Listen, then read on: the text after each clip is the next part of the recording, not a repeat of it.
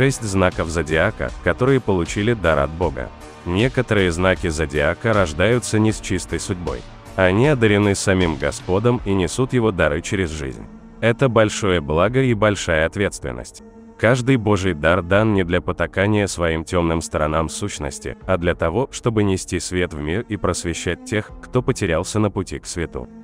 Некоторые знаки зодиака имеют предназначение от рождения и наделены необыкновенным даром от Бога.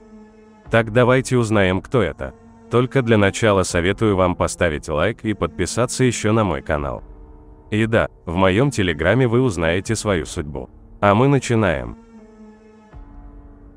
Первый знак рак. В мире пороков и соблазнов только одно может вывести заблудшие души к свету и вернуть им жажду жизни.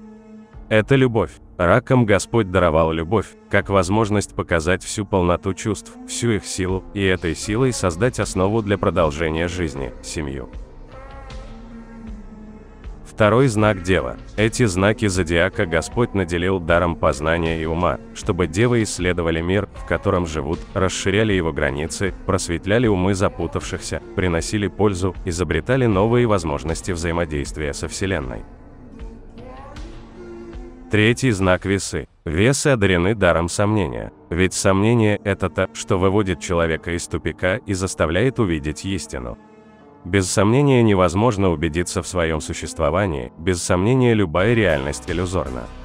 А сомнение приносит прозрение. Четвертый знак – Стрелец. Стрельцов Господь одарил искренностью. Именно эти знаки зодиака несут в мир правду такой, какая она есть. Они открывают глаза на то, что люди не хотят видеть, и показывают ценность истинного суждения, неподвластного иллюзорному искажению лжи. Пятый знак Водолей. У Водолеев есть дар свободы.